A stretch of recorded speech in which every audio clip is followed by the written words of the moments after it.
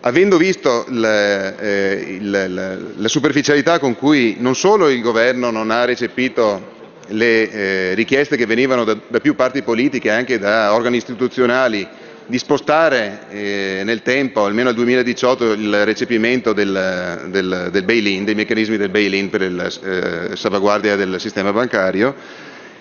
ha addirittura anticipato eh, in parte questo,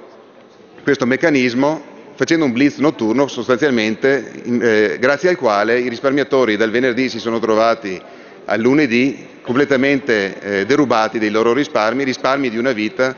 risparmi che molto spesso danno addirittura il senso di una vita perché